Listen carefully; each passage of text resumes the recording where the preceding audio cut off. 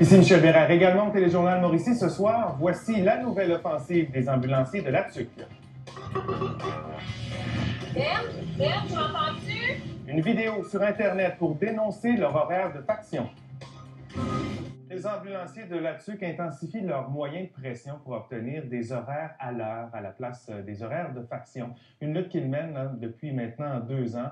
Ils ont mis en ligne deux vidéos dans lesquelles ils expliquent leurs revendications. Émilie, presque 400 personnes ont déjà regardé la vidéo.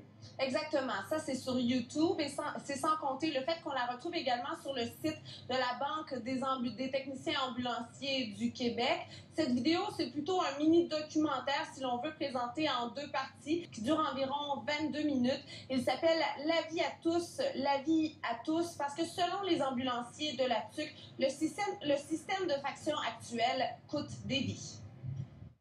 Aucune ambulance n'est prête à démarrer immédiatement. Elles sont toutes sur l'horaire de faction 7-14. L'horaire de faction 7-14 consiste à être de garde à la maison 24 heures sur 24, 7 jours par deux semaines.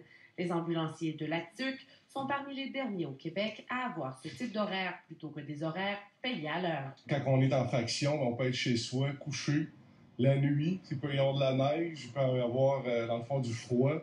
Euh, il faut partir s'habiller, euh, gratter la vie de la voiture, euh, s'en venir sécuritairement quand même.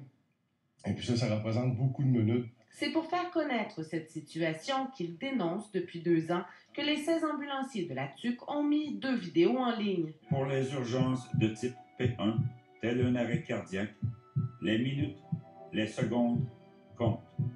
Dans ces cas, il faut intervenir en moins de 10 minutes, après quoi il sera trop tard. Et en une année, les ambulanciers de la TUC répondent à 1500 appels, dont près de la moitié sont des appels de priorité 1, une situation méconnue de la population.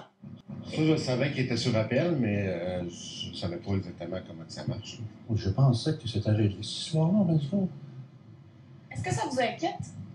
Ben, ça inquiète dans un sens, oui. On vieillit à un moment donné, puis il me semble qu'on on pourrait avoir un petit peu plus de, de vitesse pour euh, chercher la, la personne en question qui, qui est malade. Moi, je suis je suis une fille qui fait des crises d'épilepsie, puis j'ai eu le temps d'en faire cinq chez nous avant que l'ambulance arrive.